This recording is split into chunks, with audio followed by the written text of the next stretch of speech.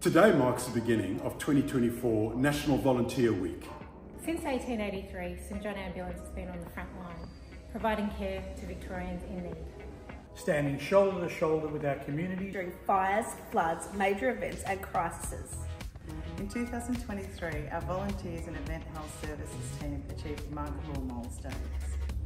This is thanks to our 2,081 dedicated volunteers. Volunteers who are committed to making a difference every day. Together, they attended 2,353 events and volunteered an impressive 171,599 hours. At local community gatherings, major festivals and sporting spectacles. And this year won't be any different. We count on your incredible dedication and support to continue serving the community. And to our volunteers, we say thank you. Thank you. Thank you. Thank you. Thank you. Thank you. Thank you. Thank you. Thank you.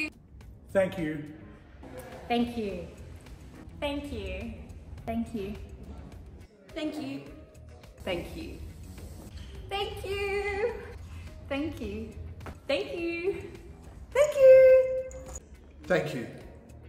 Thank you very much.